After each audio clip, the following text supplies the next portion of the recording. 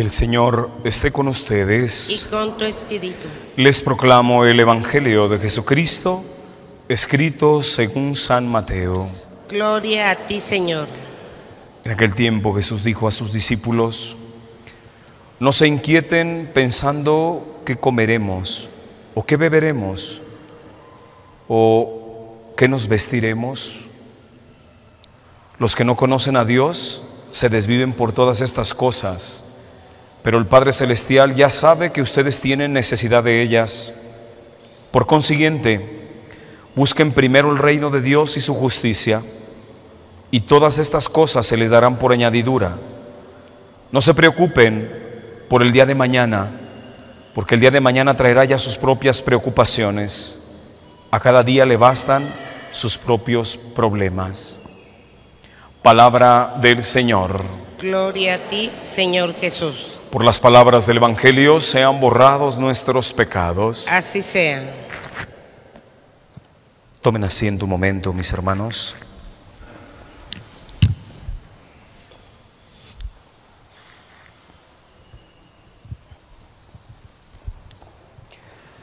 Hoy, mis hermanos, que queremos arrancar con estas misas en donde el Señor eh, quiere mostrar su poder salvífico en nosotros, yo quiero tomar eh, una supuesta enfermedad mental o trastorno mental que mencionan mucho los psicólogos o los psiquiatras. Eh, ellos lo clasifican como una de las, al menos de las 10 enfermedades más comunes mentales que hay hoy. Y ellos hablan de la ansiedad, del trastorno de ansiedad. Y tienen muchas clasificaciones, a su vez. El famoso TAG, trastorno de ansiedad generalizada. El TOC, trastorno obsesivo compulsivo. Eh, el TAS, trastorno de ansiedad social. Y ahí se lo van llevando con una serie de clasificaciones que resultan ser eh, meras interpretaciones sin ningún fundamento de nada, absolutamente de nada. Pero al final de cuentas es hablar de este fenómeno que se ha conocido como la ansiedad.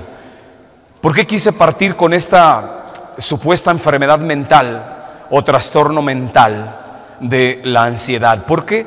Porque vivimos en una sociedad que nos ha enfermado y que nos ha dicho que la mayoría somos ansiosos. De alguna u otra manera, todos vivimos ese trastorno de la ansiedad. Unos en mayor o menor grado, otros pueden ser obsesivos compulsivos, otros pueden, según ellos, eh, tienen un trastorno de ansiedad generalizada, otros por la cuestión social, les da pánico de pronto eh, socializar, y bueno, una serie de clasificaciones que si nosotros tomamos el elemento fundamental que es la ansiedad, ¿por qué se da esta ansiedad? ¿Qué es la ansiedad? Yo cuando le preguntas al psiquiatra o al psicólogo que qué es la ansiedad, termina por no definirte absolutamente nada, porque te dice, bueno, pues ansiedad es, eh, estás viviendo un estado ansioso, o tienes una ansiedad porque tienes una preocupación, o porque tienes miedos, y eso te genera los estados de ansiedad, y quieren curarlo con medicamentos. Nunca se ha visto, jamás se ha visto que un medicamento cure un estado de ansiedad. Porque primero tenemos que ubicar qué es esto de la ansiedad. Cualquier preocupación se vuelve una ansiedad. Eh, cualquier miedo se vuelve un problema mental de que estoy ansioso y luego entonces tengo una enfermedad mental. Hoy en día para el psicólogo y el psiquiatra, toda persona que tiene miedos, que se anticipa, que ve peligro, que tiene preocupaciones, son personas que caen en este bloque de enfermos mentales porque tienen trastornos de ansiedad. Es importante ubicar el tema de la ansiedad. La ansiedad es un estado que se produce una persona sola. Los estados de ansiedad se los genera una persona solita. No hay nada que te pueda generar los estados de ansiedad. No te creas cuando te dicen que eh, los estados de ansiedad son, son brotes que surgen de manera espontánea en tu vida. Tú estás tranquilo y de repente te pones ansioso. No, hermano, el estado de ansiedad es un estado emocional que tú decides tener. Tú decides tener. ¿Por qué? Porque te estás anticipando cuando pensamos en una ansiedad dañina, una ansiedad que autodestructiva, se consciente que la persona que cae en un estado de ansiedad se lo provoca la sola persona. No hay nadie que pueda venir a influir en nosotros y generarnos un estado de ansiedad. La persona sola va creando un mundo interno. Todo está aquí en su cabeza. Sus anticipaciones, miedos y preocupaciones están solamente en su cabeza y esa persona se va generando un estado de desesperación.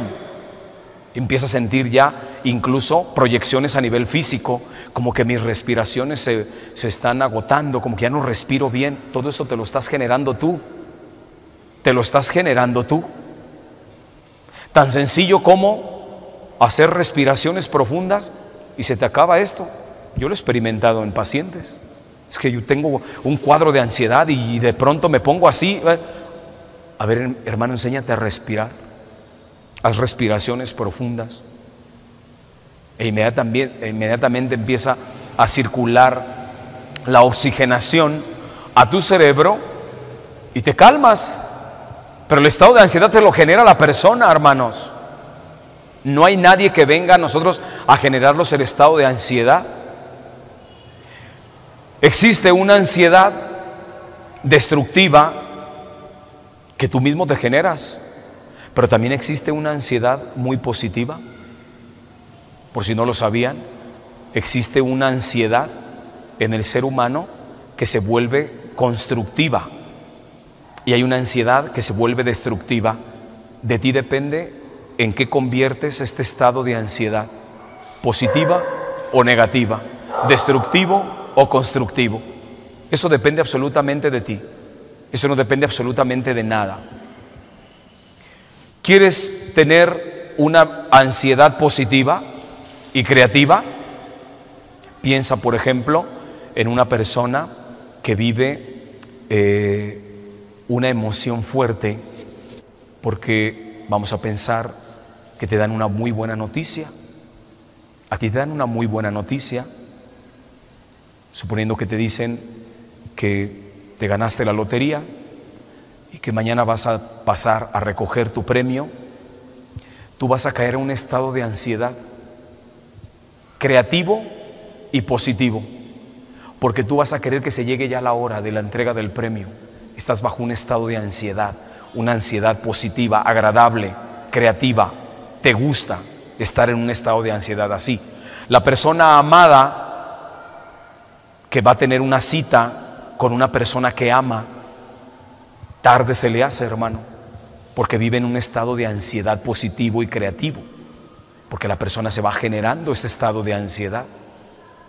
Por eso, hermano, cuando hoy el psiquiatra y el psicólogo te dicen que tú eres una persona que tienes un trastorno mental porque tienes ansiedad, es importante que tú como cristiano católico te empieces a enseñar a entender esta situación interna que estás viviendo.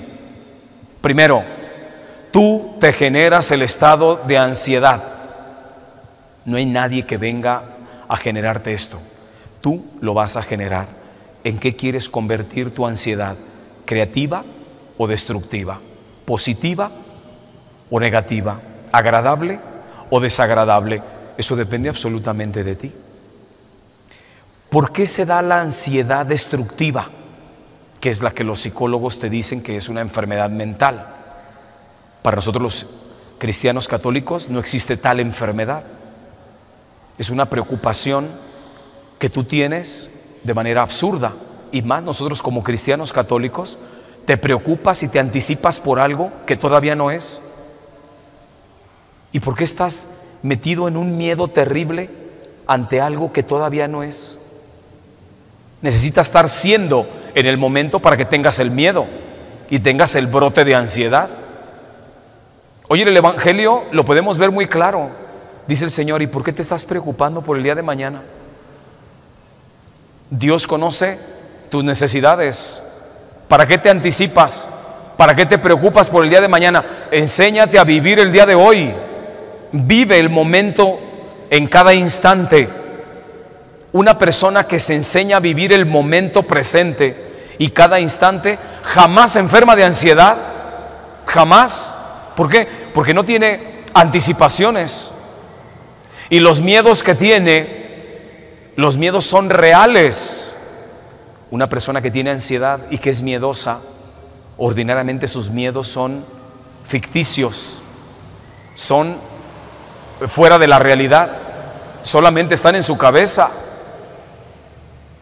A tanta gente hoy, los psiquiatras y los psicólogos los tachan de enfermos mentales porque les dicen que son ansiosos, que tienen cuadros de ansiedad muchísima gente que toma los medicamentos controlados, porque el psiquiatra le dijo que una medicina, una pastilla, le va a curar sus estados de ansiedad. Jamás le va a curar absolutamente nada. Padre, pero yo me tomo el medicamento y viera que sí me calmo. Pues es que el medicamento es una droga. ¿Sí? Es una droga que va a tu sistema nervioso. Va a generar ciertos neurotransmisores que te va a calmar por un tiempo mientras dura el efecto de la pastilla. Enséñate a manejar tu vida. No le des tu vida a una pastilla, ni tampoco le dejes tu vida al psiquiatra, ni al psicólogo. Enséñate a vivir. Con eso tú puedes sanar tus supuestos estados de ansiedad. ¿Cómo? Cuando te enseñas a vivir. ¿Qué es enseñarme a vivir, Padre? Enséñate a vivir el aquí y el ahora, el presente. Ocúpate del presente, hermano, del futuro se ocupa Dios. ¿Y para qué te ocupas del pasado? Que esa será otra enfermedad mental, que es la famosa depresión. Pero hoy estamos tocando el tema de la ansiedad, los miedos al futuro. Ocúpate del presente. ¿Quieres sanarte verdaderamente de los supuestos estados de ansiedad? el tipo que te haya puesto el psiquiatra, el tipo de ansiedad que tú tengas. ¿Quieres verdaderamente sanarte de la ansiedad? Enséñate a vivir el presente. Ocúpate de lo que tienes que hacer aquí y ahora. El ser humano va componiendo su vida a base de diferentes eh, responsabilidades. En este momento, ocúpate de la misa. Vive tu encuentro con, Jesús en la Eucaristía. ¿Por qué te estás anticipando de qué vas a hacer cuando salgas de la misa? Ay, mañana tengo que hacer esto. Ay, es que tengo... Mientras no te enseñes a vivir el presente, nunca vas a superar esos supuestos estados de ansiedad. Jamás, hermano. Y menos una pastilla. Menos una pastilla te va a sanar. Yo sé que hay mucha gente que toma sus pastillas para la ansiedad. Muchísima gente, hermanos. Si tú eres un cristiano católico, no has entendido, hermano, que la medicina está en ti. Cuando te encuentras con Jesús, cuando entiendes su palabra. La primera lectura hemos escuchado una palabra maravillosa de San Pablo. Hermano, déjale tus preocupaciones al Señor. La paz del Señor supera todo pensamiento. Ocúpate nada más de ti, del presente, del aquí, del ahora. Por eso, hermanos, hoy pidamos al Señor que nos permita entrar a nuestra psique, apropiarnos de nuestros estados mentales y ocuparnos, descubrir que solamente nos podemos ocupar del presente. Tú no te puedes ocupar del futuro, jamás. Por más que te esfuerces, no te puedes ocupar del futuro. Jamás. Ocúpate del presente. Y cuando surjan tus miedos, que son los que te llevan a los estados de ansiedad. ¿Miedo a qué? No sé, a qué le puedas tener miedo. Ubica tus miedos, porque los miedos pueden ser reales o pueden ser falsos, ficticios. Los reales son los que se están dando en el momento. En este momento, ¿qué peligros tienes tú que te puedan generar miedos? Aquí y ahora. No es que para mañana, mañana tendrá sus propios afanes, dijo el Señor en el Evangelio. Mañana no sabemos. es que yo, ocúpate de este momento. Enséñate a ubicar tus miedos. Que tu miedo siempre tenga un fundamento en la realidad, no solamente en tu cabeza. La mayoría de personas que se presentan con los psicólogos y con los psiquiatras, porque son, tienen cuadros de ansiedad y porque tienen miedos, sus miedos son irreales, son ficticios, solo están en su cabeza, no están en el mundo real. Jamás. Y en la medida que te den un medicamento, tú te vas a ir atrofiando cada vez más. Porque el medicamento va a ir directamente a tu sistema nervioso y va a alterar la funcionalidad del cerebro. Y te va a ir afectando cada vez más. Y te va a generar una dependencia de ese medicamento. Hoy hay gente que no puede dejar un medicamento.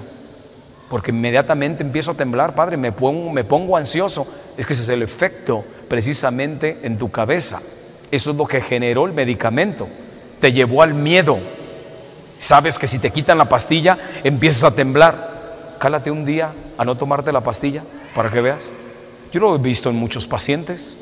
Dejaron la pastilla y se acabó ese efecto. Ay, padre, pasaron los días y ya no tengo efectos. pues es que, hermano, la medicina está al alcance tuyo. Es nada más que te acerques al Señor para que el Señor extienda su brazo poderoso sobre ti y te sane de eso que, que solamente está en tu cabeza. Por eso, en este día que reflexionamos sobre esta supuesta enfermedad mental o trastorno mental, para nosotros los cristianos católicos no existe tal. Para nosotros existe un desorden que tú mismo te generas en el pensamiento. ¿Quieres superarlo? Enséñate a vivir el presente. Así nos dijo el Señor en el Evangelio. ¿Quieres sanarte verdaderamente de esto? Deja tus medicamentos y ocúpate de la oración. Está comprobado científicamente que una persona que se pone en un estado de oración, tú como cristiano católico, preséntate cuando estás con miedos y con estas supuestas ansiedades, concédete 15 minutos frente al Santísimo y te puedo firmar un papel que vas a encontrar el equilibrio psíquico la energía que necesita tu cerebro, porque los encuentros de contemplación y de oración generan en el sistema nervioso un equilibrio, una neutralidad. Eso está comprobado. A ver, lo voy a calar. Cálate un día hacerlo, hermano. Yo no tengo por qué estarte diciendo aquí algo que, de lo que no tenga certeza y fundamento. Cálate un día hacer esto. Deja tus pastillas y acércate a Jesús a ver si no vences tus miedos. El miedo te lo genera el maligno. Es astuto, Satanás. El miedo te lo genera Satanás. Él es el que se ha encargado de generar esta enfermedad mental conocida, esta enfermedad mental entre comillas de, entre comillas de la ansiedad. Es una obra de Satanás, hermanos. Acércate a vencer con tu oración y sobre todo con un rosario, hermano. Porque María recuerda que es la que vence a Satanás de una manera contundente. Si Satanás genera en ti pensamientos de ansiedad y de miedo, toma un día tu rosario cuando te sientas en un estado así, para que veas el poder que tiene el rosario para reestructurar tu psique por eso, hermanos, hoy le vamos a pedir a nuestra Madre Santísima que nos conceda superar este desorden mental que tenemos en nuestra mente, adquirir la paz que solamente da Jesucristo, este equilibrio psíquico que nos da el Espíritu Santo, que sea nuestra Madre Santísima que por su intercesión hoy arranque de Jesús el poder, la gracia y el milagro para que sane nuestros estados de supuesta ansiedad y de miedos.